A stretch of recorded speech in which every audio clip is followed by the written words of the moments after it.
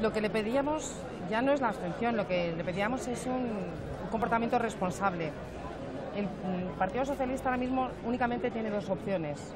Una es permitir eh, ser oposición y para que haya oposición tiene que haber un gobierno. No se le está pidiendo que apoye o que confirme el gobierno de Mariano Rajoy, no se le está pidiendo un sí, se le está pidiendo meramente que se abstenga para que pueda haber un gobierno de España y a partir de ahí que pueda haber una oposición leal y constructiva. Para ser oposición tiene que haber gobierno. Es que la otra opción son nuevas, nuevas elecciones. Entonces eh, es, obvio, claramente lo tiene que decir, lo tiene que decir abiertamente.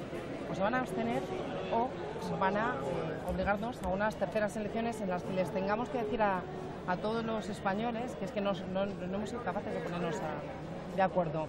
Eso sería un ridículo para nosotros, los representantes públicos, que no nos podemos permitir, pero también a nivel internacional sería una situación, hay que reconocerlo, bastante ridícula. Es algo que no, sinceramente no nos podemos permitir, no es serio, no es responsable en nuestro propio un partido que es un, partido que, debiera tener el sentido de Estado que ha tenido tradicionalmente el Partido Socialista. Yo espero que los silencios eh, sean eh, un tiempo de reflexión que esto les permita pues, eh, hablar entre ellos si es que tienen que unificar posturas o, criterios y tomar la decisión que sea no solo bueno para los intereses del Partido Socialista, sino bueno para todos los españoles.